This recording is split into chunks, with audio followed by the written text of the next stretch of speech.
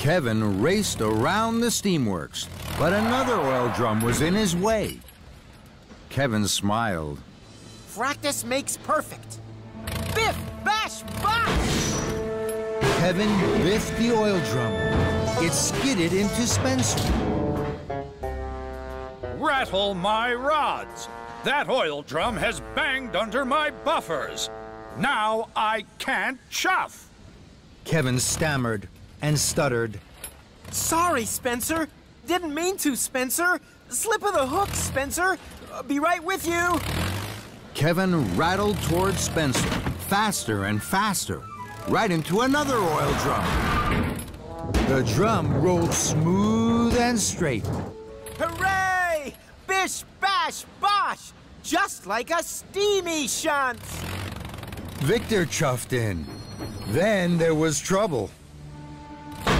An oil drum whizzed and whirled towards Victor and covered him in gloopy goo. Heaving hooks! Victor was upset. Fenders and funnels! What have you done, Kevin? I'm covered in gloopy goo. My wheels are scratched. And my wheels are jammed. Kevin felt terrible. I'm sorry. I wanted to play Biff Bash Bosh with Thomas and Percy, so I was trying to shunt like a steamie, but I can't shunt like a steamie, and I didn't look after the steamworks. Just then, Thomas and Percy chuffed back into the steamworks. Hello, Kevin. Are you ready to biff bash bosh? Kevin really wanted to play with Thomas and Percy, but he didn't want to look silly again. He wanted to be a really useful crane. No, thank you, Thomas. I have a lot to do. So, Kevin carefully lowered a new wheel from his hook. It's new and perfectly polished for you, Emily. Thank you, Kevin. Next, Kevin had to help Spencer. Sorry to keep you waiting, Spencer. I'll have your wheels whirring in a flash of your fender. Kevin's hook whisked the drum high and away.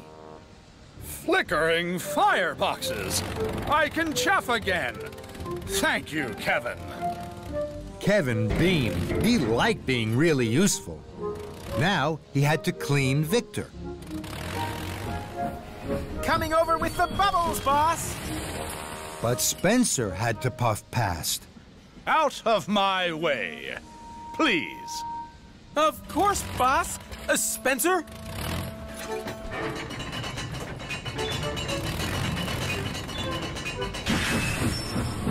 Kevin trundled to Victor.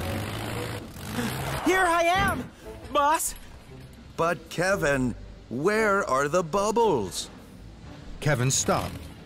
Kevin stammered. He couldn't see the bubbles. But Thomas and Percy could. They're over here, Kevin.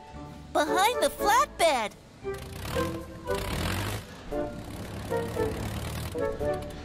Hide and peep. That's a great game. Hiding things with your hook is the best game of all. That made Kevin very happy. Soon, Victor was clean and gleaming again. Go, Kevin. Now you are free to play your game. So Kevin hid with his hook. And Thomas and Percy hunted and huffed. No Steamie could ever hide as well as you can with your hook, Kevin. Kevin jiggled with joy. That's what's good about being a crane. And everyone cheered to that.